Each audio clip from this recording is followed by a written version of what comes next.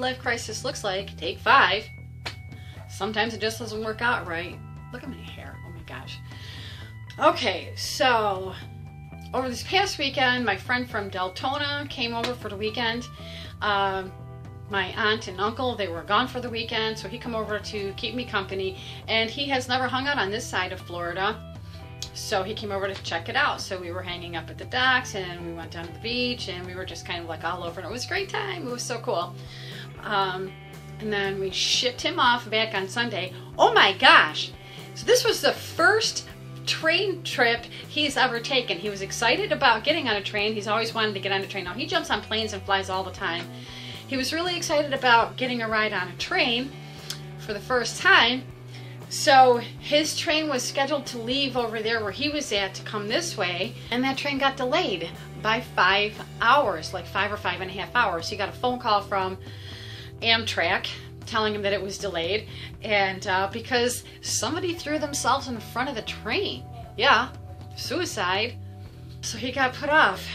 So finally, five and a half hours later, he gets on the train and he comes over here, and I guess it wasn't a bad ride. So I swing down to the station and picked him up. It's great to have your old friends come and visit with you, and most of them live in Florida. My old friends, they all came down here a long time ago. So now Sunday I go drop him back off to the station because he's going to take his trip back home. And uh, I guess they were on the train 10 15 minutes and I had to stop. Why? Because somebody threw themselves in front of the train. Again! I mean, I'm not laughing about that whole situation, but this poor guy has never been on a train before. He's really, really looking forward to it. He's got a train delayed five and a half hours coming one way because somebody threw themselves in front of the train. And then now on his way back, the train stops for eight and a half hours. Eight and a half hours later, they started up again on their way back because somebody threw themselves in front of the train. It was like, what is this, jump in front of a train week? Both ways. Statistically speaking, this should not happen to anybody ever. So, I felt so bad for him.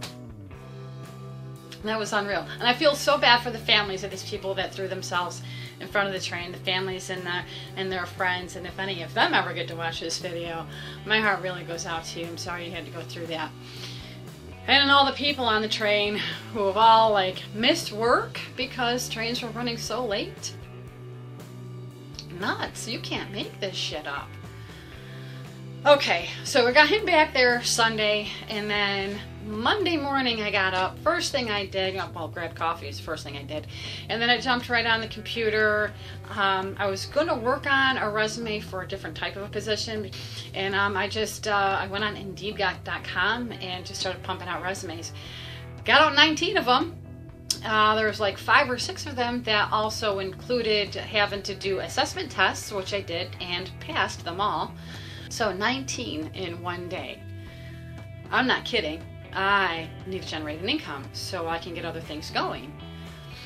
So uh, Tuesday, I got a couple of phone calls for interviews. Yay! So I've been doing interviews for the last couple of days. Um, some of them feel really, really good. But I'm not going to go by any of that because some of the other ones felt good that I did before, and those uh, came to no fruition at all. But as I said before, I'm not really concerned. I know I'll get something and I know it will be on time. It'll be before I run out of money. Because that's just how life works for me. So, um, so there's that. Yeah, the the train problems, the weekend with friends, uh, putting out resumes, getting phone calls, and that's where I'm at right now. Like how I'm feeling, I, I sometimes I feel really bored uh, but I've got lots of things to do when I'm bored. But there are some times where I'm feeling pretty bored.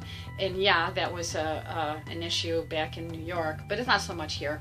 Most of the time, though, I feel really excited about life and I feel really excited about this new journey that I jumped on. I know nothing.